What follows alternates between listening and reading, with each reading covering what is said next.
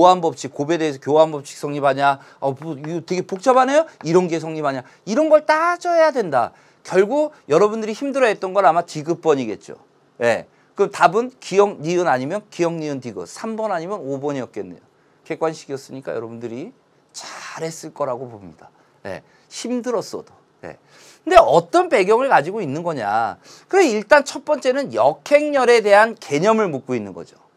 그럼 B의 역행렬을 묻고 있으니까 B로 묶어지냐 보면 되죠. 예.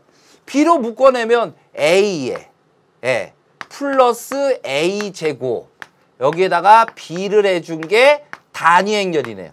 아, B, A, 이거에다가 B 곱한 게 단위 행렬이니까 B의 역행렬이 뭐가 나오는 거예요? A 플러스 A 제곱 이게 나오는 거죠. 왜 나오나, 이게. 그냥 B의 역행렬만 있는 거냐? 아닙니다. 다시 잘 봤더니 A로도 묶여요. 예, B 플러스 A, B가 되잖아요. 이게 단위 행렬. 그 A의 역행렬이 이거예요. 자, A의 역행렬이 이거다라고 이야기하면 B 플러스 A, B에 대해서 우리가 A를 이렇게 곱한 것도 역시 뭐가 돼야 되는 거죠? 단위 행렬이 돼야 된다라는 사실 여러분들이 알고 계실 겁니다. 그죠? 뭐 이렇게 접근하셔서도 좀 힘들 수 있죠. 이거 보면 전개하면 BA, ABA. 그러면 이게 저거랑 같게 되려면 BA가 AB랑 같게 됐을 때 ABA도 A제곱 B랑 같아야 되고 조금 좀 까다로워요. 그러니까 여기에서 이제 우리가 B의 역행렬 존재한다는 거 알았는데 니은번 이걸로 가려면 어떻게 접근해야 되냐면 더 많은 걸로 묶어봐요. AB로 묶어보는 거예요. AB로.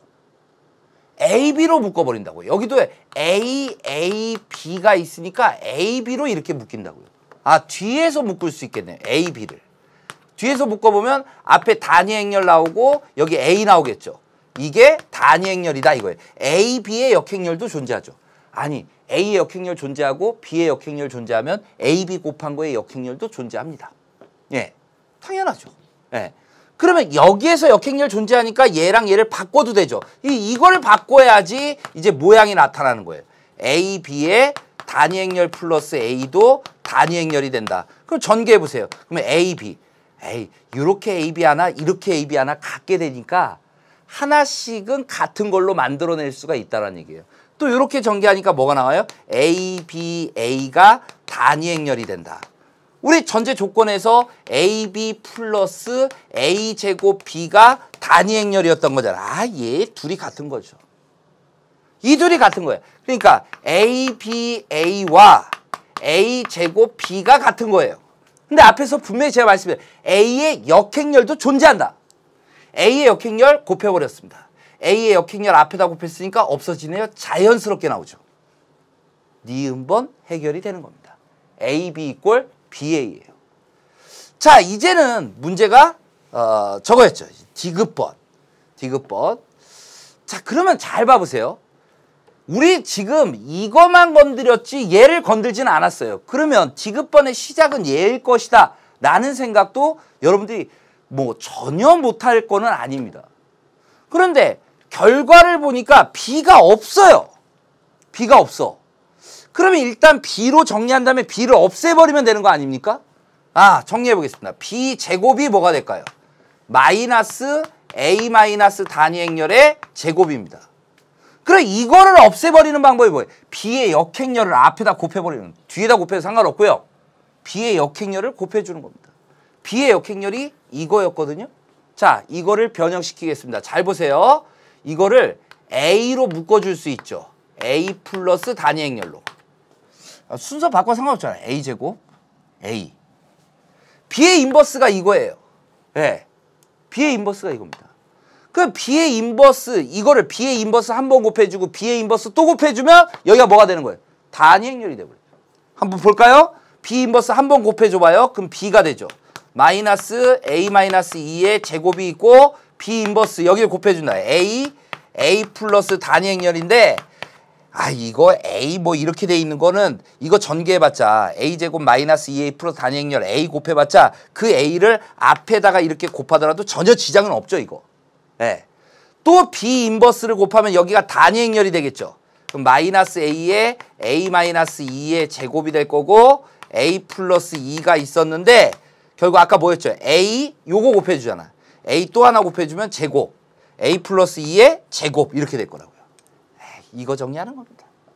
예.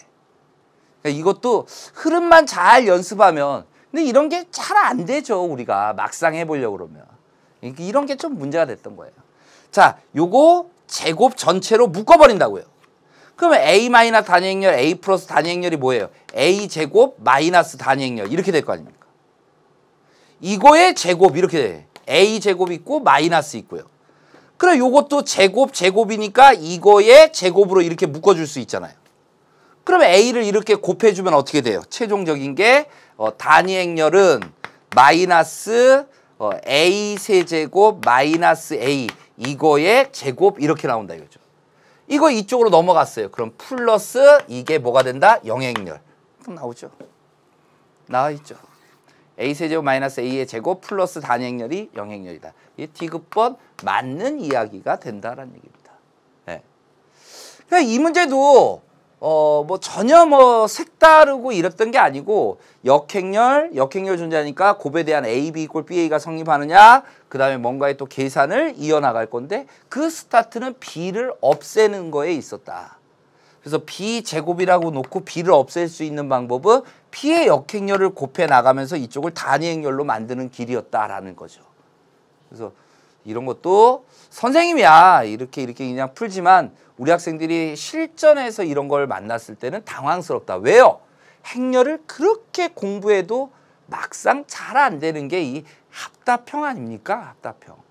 그래서 좀 힘들었던 거죠. 네. 이번 시험에서는 전반적으로 어, 어떤 성향이 띄냐면 나오는 거 뻔해요. 그런 거 있죠. 우리가 뭐 지수로그 실생활 문제라든지 아니면 상용로그의 지표와 가수, 행렬 합답형 이런 것들이 어, 정확하게 여러분들이 알고 들어가야지 그냥 행렬의 합답형 그냥 간단한 것만 알고 있다든지 상용로의 지표와 가수도 간단한 것만 그렇게 접근해 가지고는 문제를 바라보면 이 8쪽이네요. 8쪽. 8쪽이 좀 우울해지는 거예요. 예. 네. 그러니까 점점 점점 21번에 가까워 객관식의 마지막이 21번이니까 21번으로 가까워질수록 그걸 자꾸 그냥 계산만 길어지는 거죠. 그러니까 우리가 자꾸 연습해야 될 거는 물론 처음 단계에서는 쉬운 걸 가지고 많은 연습을 해 나가지만 내가 좀 실력을 키워 나가면서 좀 더 어려운 문제도 도전하고 그리고 과정에 충실하고 이 렇게 연습을 여러분들이 부단히 해 나가야 되지 않을까라는 생각을 해봐요.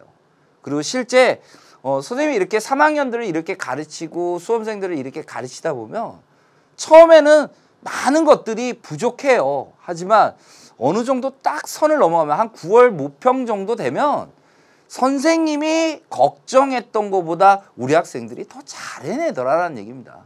그만큼 여러분들이 수학에 대해서 실력을 쌓아 나가게 되는 거죠. 무엇보다도 자신감인 것 같아요. 기존에 여러분들이 수학을 수포자다 뭐다라고 하는 것들이 대부분 어, 수학을 안 해본 거죠 제대로. 그냥 하기 싫었던 거고 안 했던 것 뿐이에요. 근데 상황을 좀 바꿔서요. 어, 내가 수학을 제대로 공부했는데도 과연 수학을 포기할 거냐? 그거 한번 머리 곰곰이 한번 생각해 보세요.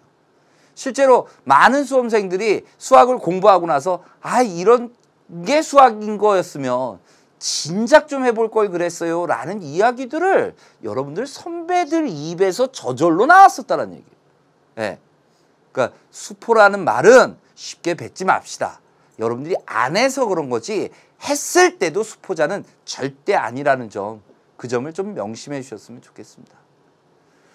어, 다음 문제는 이제 20번인데 20번, 21번 뭐 장난 아닌 거 아시잖아요. 그래서 어, 다음 시간에 3부에 선생님이 20번부터 해나갈 겁니다. 상형 로그의 지표와 가수에 관련된 문제예요. 그러면 우리는 이런 것도 맨날 이런 거 기계적으로 가는 거 있잖아요. 로그 x의 지표와 가수를 fx, gx라고 하니까 로그 x는 fx 플러스 gx다.